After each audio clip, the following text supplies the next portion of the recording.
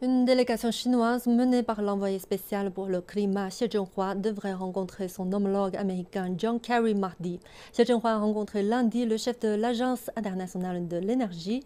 La délégation chinoise a tenu une réunion à huis clos d'une heure avec Fess Birol, directeur exécutif de l'AIE.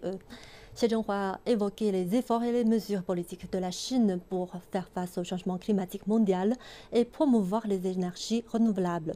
Les deux parties ont convenu que la Chine et l'AIE devraient coopérer pour promouvoir les efforts visant à faire face au changement climatique.